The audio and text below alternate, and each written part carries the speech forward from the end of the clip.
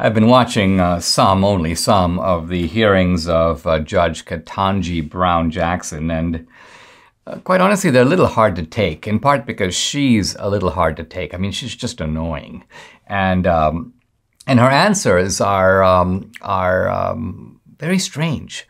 And so you're, you're dealing with a, with a radical uh, woman uh, who nevertheless puts on this kind of um, almost colloquial conversational tone, almost as if she's chatting with you in the corner of a street. And um, and, and I just want to focus on a couple of my favorite episodes uh, from, from, the most recent round. Here's um, Marsha Blackburn. Can you provide a definition of the word woman? Now, take a break for a moment to think about this. Ketanji Jackson is on the court because she's a woman right? She was, Biden says, I, I'm going to choose a black woman. So you have to be black and you have to be a woman.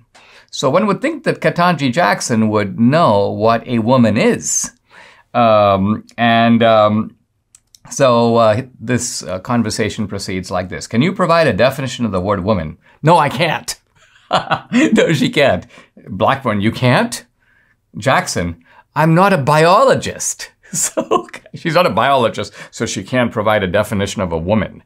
This is a woman who wants to be on the Supreme Court, where you deal with issues of gender equity, Title IX, the Equal Protection Clause, you know, no discrimination on the basis of race or sex. So you think that knowing what a woman is is kind of a fundamental requirement for being able to adjudicate these cases? Then let's also think about it this way.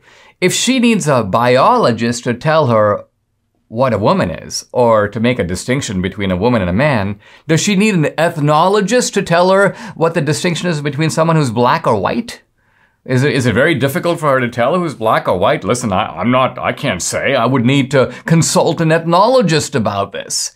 So, this kind of um, stupidity uh, is uh, what we're dealing with in the case of uh, Jackson. Um, and it continues. I mean, it never stops. Uh, here's Judge Jackson. This is actually, this is not even colloquially from the hearing. This is actually from her, a case that she adjudicated where she gave a very light penalty. By the way, whenever you have these um, cases uh, involving, by the way, the predation against minors, you would think that this is one case where kind of this, this is not going to be a bipartisan issue. The Judge Jackson's going to crack down. No, she actually gives very light sentences, sentences below the guidelines. And what's interesting is her reasoning. Here is a an 18 year old was apparently uh, entrapped in a kind of um, a child pornography scheme. He's downloading images of children as young as eight. And now I'm quoting from Judge Jackson. This case is different because the children in the photos and videos you collected were not much younger than you. Hold it.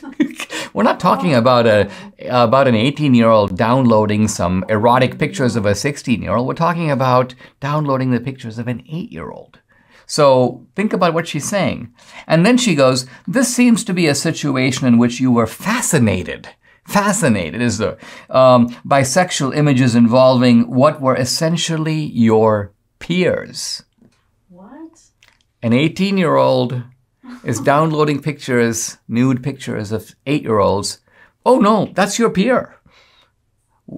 I mean, even if you have an eight year old sibling and you're 18, you don't talk to him. So she doesn't have gender. Um, she doesn't have so now it becomes clear as you probe these cases that in many of these cases you have perpetrators who are black, and it becomes clear that what Judge Jackson is doing is trying to produce, quote, equity in sentencing. This, by the way, is a big theme of hers. And even though she's denied, oh, critical race theory, never really heard of it. I don't really don't know what that is.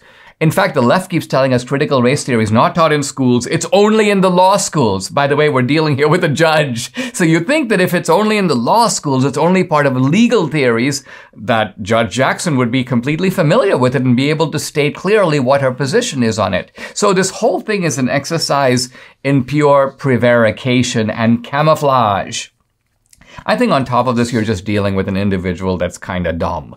And if this seems kind of surprising, uh, I don't think it's that surprising, and here's why. It, it, comes right out of Biden's criterion for picking a judge, right? Uh, and this is not about race, it's not even about gender. Here's what it's about. If you say, I'm going to pick someone who's black, right away you're narrowing your selection to 13% of the population. Why? Because only 13% of the population is black. And then if you say, I'm not just going to choose someone who's black, but a black woman, you're cutting that population in half. So now you're down to 6.5%.